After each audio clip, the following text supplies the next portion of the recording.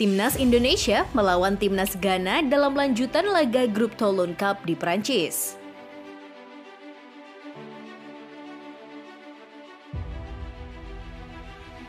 Kedua tim sama-sama bermain dengan tempo sedang karena tak mau bermain ceroboh dan laga ini merupakan laga penting. Karena kedua negara sama-sama kalah di putaran pertama fase grup.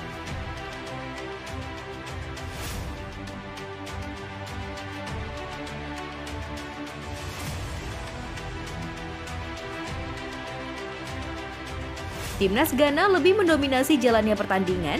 Beberapa peluang matang didapatkan, namun berhasil dimentahkan kiper timnas dan tiang gawang.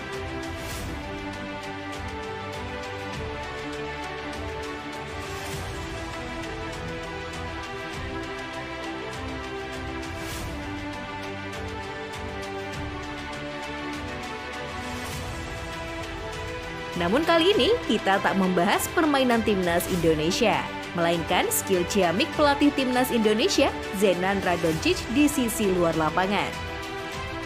Momen ini terjadi ketika bola liar yang mengarah ke luar lapangan langsung dikontrol ala Marcelo yang membuat dirinya memang layak menjadi pelatih timnas.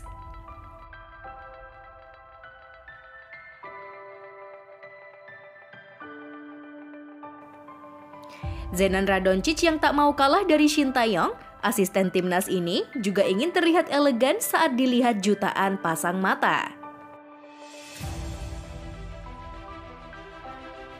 Timnas Indonesia saat ini memang berada di juru kunci klasmen bersama Ghana karena mengalami kekalahan 1-0 melawan Venezuela.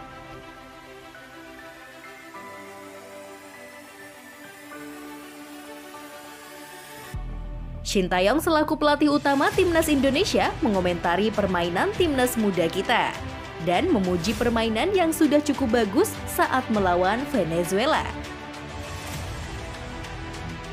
Saya mengapresiasi permainan timnas U19 di bawah asuhan Zenan Radoncic. Sudah cukup bagus dan penuh kerja keras, ucap Shin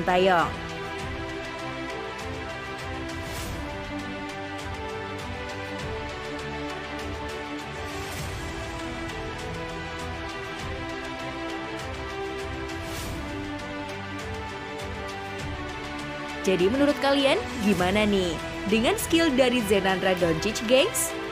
Yuk berikan pendapat kalian di kolom komentar.